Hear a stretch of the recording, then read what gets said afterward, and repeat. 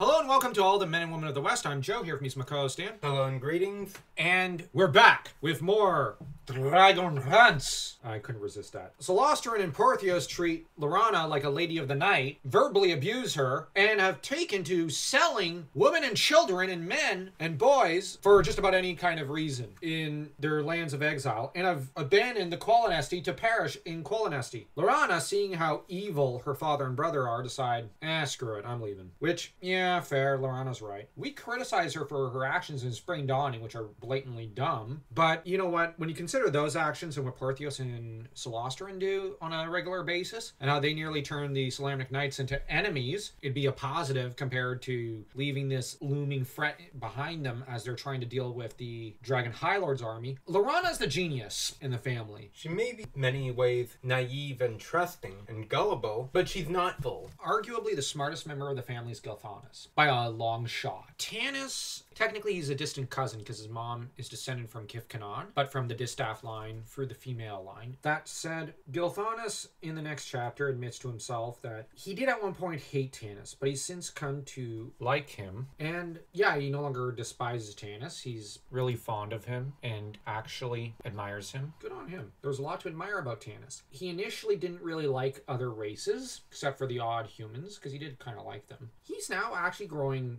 weirdly fond of non elves and even kind of admiring Raistlin for his courage and knowledge of magic, even though he admits to himself Raistlin kind of scares him. Which, okay, yeah, Raistlin has that effect on people. Given how power hungry Raistlin is, we tend to defend Raistlin because, from a certain point of view, most of the companions are jerks to him. Raistlin is a really impressive guy. On the other hand, he is a freaking scary. He's as charming as a rock to the face. He's got negatives in charisma. Let's just put it that way. Gilthanas, though, is confused by what he's feeling for Silvara only to find that he's in love with her. And it's love at first sight, apparently. Silvara is filled with self pity and cries at the end. Laurana decides to give the dragon orb to Derek as they're being hunted, which, fair. Now, there is a humorous scene where Gilthanas kind of is so enraptured by Silvara and her storytelling of the legend of Huma that only Sturm is paddling their boat because she's too busy making googly eyes at Gilthanas. He's too busy making googly eyes at her. At which point, some of the Kagonesti, they kind of tease Gilthanas. The fact that he immediately apologizes to the the Kagonesti and agrees to paddle has the Kagonesti pretty pleased with him. At which point he becomes a figure of mockery amongst them, an amusement. But the fact that he treats the Kagonesti elves with genuine reverence and respect and appreciation, and as though they're brothers, because this is the values of Qualinesti. The Qualinesti don't discriminate between the three races of elves, for which the Kagonesti are immediately filled with fondness and appreciation for Gilthanas and would die for him, because they recognize, okay, he has the values of Kith-Kanan.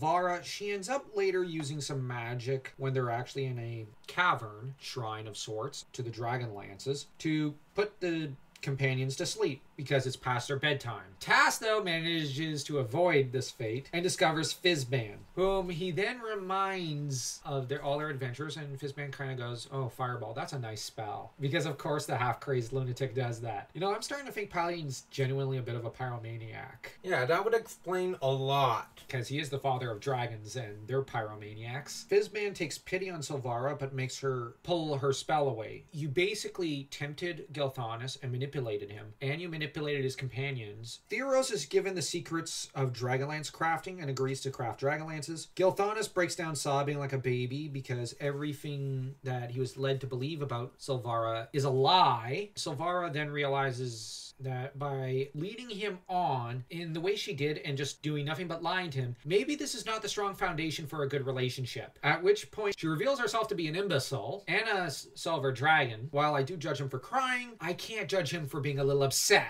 and deciding that, yeah, this isn't true love. Because true love would not involve lies. Silvara tries to convince him subtly that it is love, but it's not because she lied to him. Gilthanas, I think, was genuinely smitten. As for chapter one of book three, it sees the Tanis team decide that they're going to become entertainers after Raistlin uses some tricks to get out of trouble and they make a bit of money. Tika decides she's going to be a lady who takes her clothes off for money for the team, at which point the team says, sure, makes money, which turns them into skeevy jerks. I'm just saying, this part of the writing is very unpleasant, and it just makes me dislike this team. Goldmoon decides to become a singer, so she's basically singing between Tika's acts and Raistlin's acts. This is all they're going to be doing for the rest of the book, for the most part, which is dumb. Give them an adventure. So while Laurana and Sturm and their team are basically running for trouble and trying to do the right thing, the others are basically deciding to sell out Tika for money. Honestly, this part of the book needed a rewrite, or three. Or 10. Time for chapter two of book three. It's revealed to us some of the organizational structure and customs of Solamnia. There is a Grand Master, High Clerist, and High Justice, who are the heads of the order of Solamnia, and you have several other Knights of the Roses who help run the entire establishment. This is all revealed on page 255 and 256, but the trouble is that there is no Grand Master. High Justice, Lord Alfred MarKenin, his hold over the position of High Justice is tenuous, so people are questioning whether or not he should even have the position. The acting Grand Master is Lord Gunthar Uth Wistan, but he's not formally the Grand Master. So the knighthood is in disarray in a dark age, and they don't really have leadership. But the knight's trial is presided over by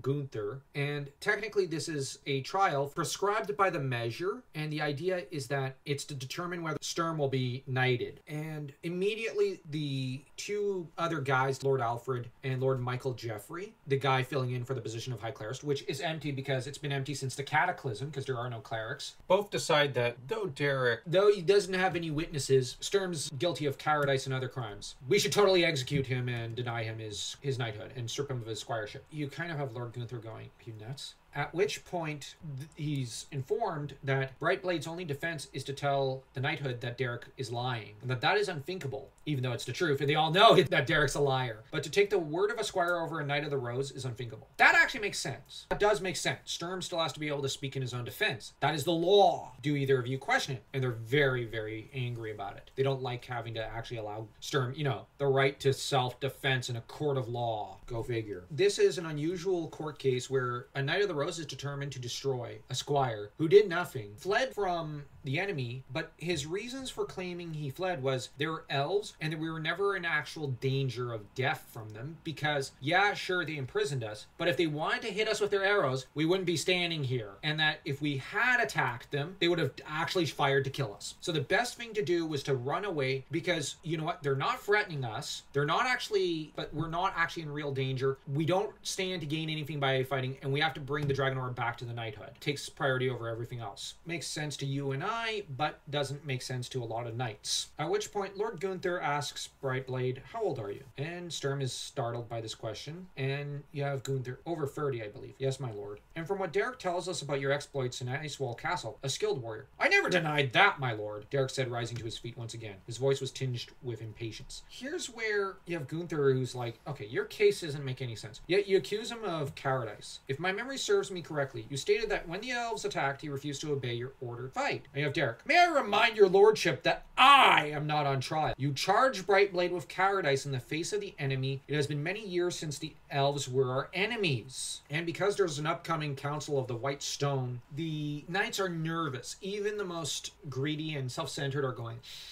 maybe not a good idea to end up in a war with Neraka, you know, the Dragon High Lord's army, and the elves at the same time. Might not go over well. Sure, we have the military might to completely crush either one, but we'd rather crush Neraka because, you know, they're evil and psychopathic and they want our lands, and they will not negotiate with us. Sturm is pressed to answer whether or not Derek was telling the truth or not, and to elaborate, and he explains if the elves wanted them dead, they'd already be dead. And he says, when he's pressed to answer, My lord, I do not say the knight has lied. I say, however, that he has misrepresented me. To what purpose? Lord Michael asked. Sturm hesitated. I would prefer not to answer that, my lord. And then Lord Gunthar insists. Sturm's again refuses to answer, and then he, he begs not to be made to answer. Then he's commanded to answer. Wow, it's taking a lot just to get Sturm just to defend himself. It's at this point that Sturm clasps and unclasps his hands in front of him over on the table, looks directly at the three knights sitting in judgment of him, and realizes that his case is essentially lost. He was never allowed the chance to, to claim his knighthood, to even fight for it. This is actually also his test to become a full knight, but it's also his trial for his very life, or at least for his chance within the knighthood. And he just accepts that. Well, he gives up on the knighthood in this moment and decides he has to tell the truth. I believe Lord Derek Crownguard misrepresents me in an effort to further his own ambition, my lord. At that point, a tumult breaks out. Derek has to be restrained and challenges Sturm to a duel. Lord Gunthar tells Derek that contests of honor are forbidden at this time as they are pretty much in a state of war. During war, Solamnic knights are not allowed to joust or fight to the death. Pretty smart custom. They should be united against a external enemy. And Sturm is ordered out of the hall and goes to pray. Then he's brought back in, and two of the knights on the High Council to storm out in a huff, enraged that Sturm was not stripped of everything and slain. I just say that they want to kill him because it's very clear that this is basically a trial for his very life. And it's revealed lore-wise that Berthel Brightblade, the founder of the clan, was the first one to receive the sword, Bright Sword, the blade from which they know they have their name, and that the sword would only break if its master broke. Sturm, for his part, is found guilty, but his punishment is that he will never be able to draw payment from the coffers of the knighthood, which nobody's drawing payments from the knighthood, so it's moot. Lord Gunthar decides to knight Sturm and declares that Sturm is to lead the Knights of the Crown, that division of the army, as third in command, Derek as his commanding officer, and Lord Alfred as second in command to defend the High Highclare's Tower. The thing is, this is done by Lord Gunthar, who says, On my honor, and there is a universal gasp. And the reason for this is revealed later by Sturm that it is because if Sturm proves himself dishonorable in any way or a coward, Gunthar will be stripped of all his lands, as will his wife, his sons, and they'll be chased out and pretty much exiled from Solamnia. That is something major. And Gunthar does it without hesitation because he considers Sturm as his own son because Sturm is, it's implied, his godson. And he takes his duties to Sturm very seriously and claims, Well, your father saved my life so many times. And Sturm says, And you did the same for him.